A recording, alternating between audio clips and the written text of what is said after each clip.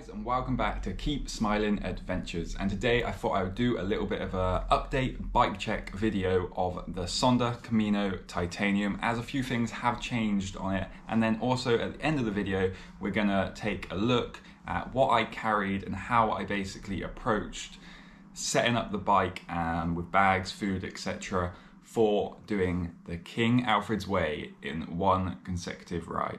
Right, let's get into it. Okay, so quickly, for the people that haven't watched that previous video, let's go over the bike and the things that it haven't changed. So the bike is still obviously the Sonder Camino titanium frame. That is the extra large version and it's a 60 centimeter. It's Sonder's original first version. So it has a quick release dropout on the rear.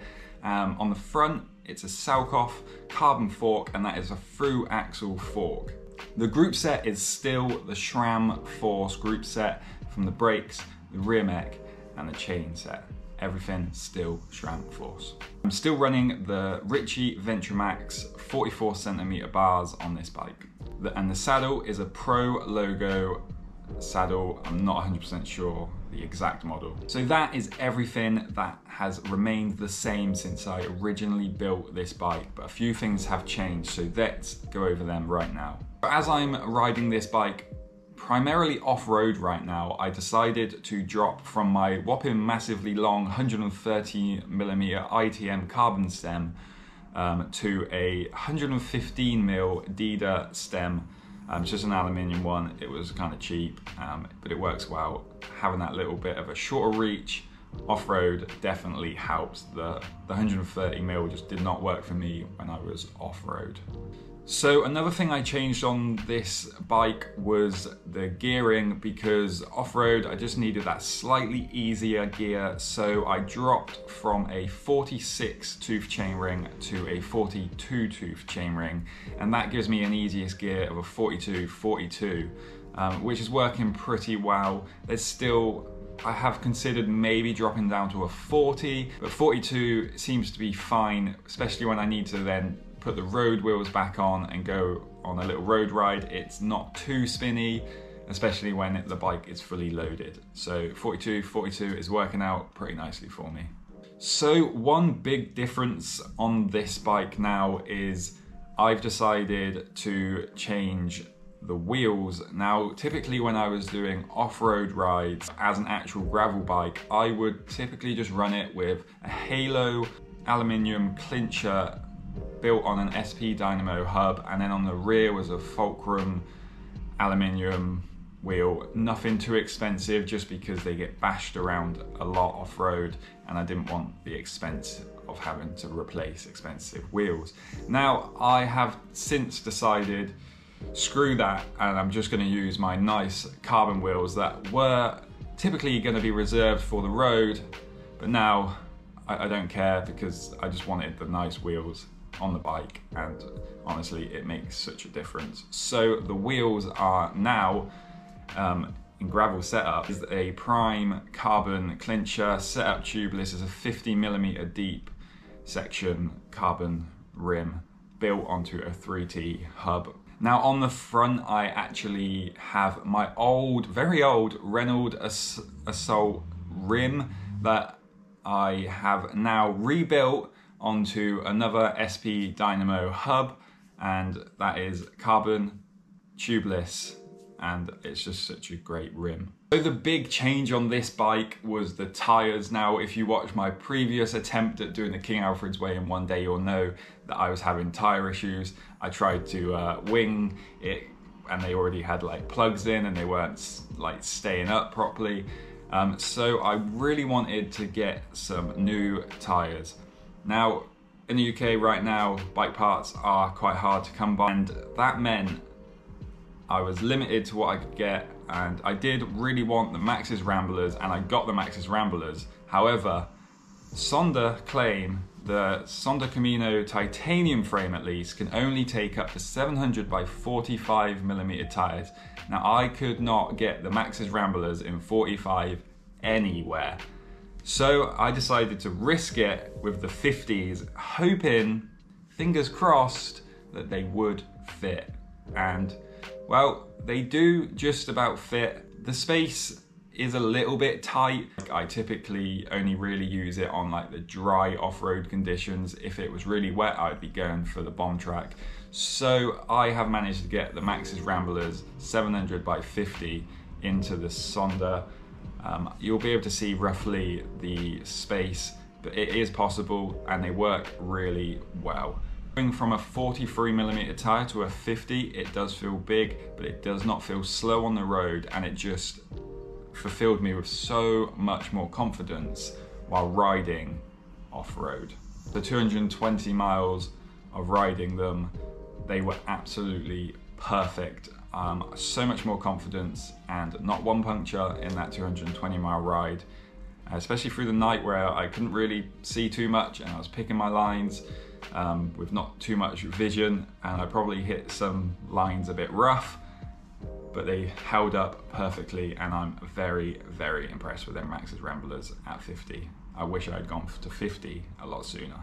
Okay, so that is a bit of an updated bike check of the Sonder and how I'm now setting it up for the gravel, um, for the off-road adventures. So I think let's go on to how I decided to set this bike up for riding the King Alfred's Way in a non-stop one ride challenge. So my main aim with this was to keep the bike as close to just a normal, no bags, as unloaded as possible. And luckily, obviously, I did not need to carry any sleeping gear because I was just going to be riding continuously. So basically, I used the Rapha bar bag for food. This basically, the main pocket just had food and what I ate was, well, you know what I eat, Ginsters, pies mainly, um, and some brownies uh, that I was snacking on. That was the main pocket, that was basically all it was reserved for was food, whatever I could carry in there. In the little front pocket, I carried my Allen keys, um, my pump, and some tubeless um, repair kits and also there's some puncture repair kits in there and a lighter. So that was the bag that I took on the bar and yeah, it works really well for that sort of thing. It's lightweight, it's small, it doesn't weigh basically anything and I was able to keep enough food in there to basically get me around until the shops were around. Okay, so the next bag I actually put on my bike and obviously I wanted to keep it small but I do need to carry a few things and I didn't want to stuff all my jersey pockets with them. So on this trip I took a little tiny power bank. It's a really, really cheap one but this was just to charge the Wahoo. I know I have a Dynamo hub and I could have just technically charged from my Dynamo hub directly into my Wahoo and kept that charged all the time. And ideally that would have been what I would have done, but I was using the out front mount for the Wahoo Roam and for some reason when they designed this they made it basically impossible to plug the Wahoo in while actually mounted in the out front mount.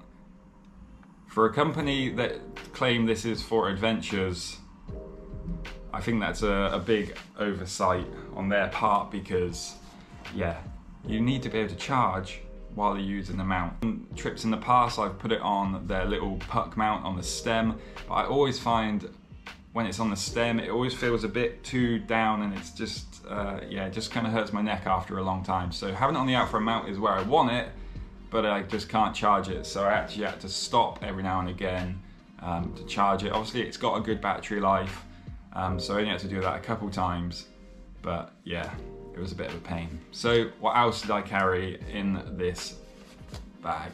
One thing you'll, you'll know if you watch the video is that I was quite thirsty and I ran out of water. And I did take my filter, the Katadyn BeFree water filter, but unfortunately on, on the King Alfred's Way there just is not that many places to get water, um, especially once you get to like the Salisbury Plain all the way to Goring pretty much. You don't have anywhere to get water. So I unfortunately didn't actually get to use that um, and I was just quite thirsty.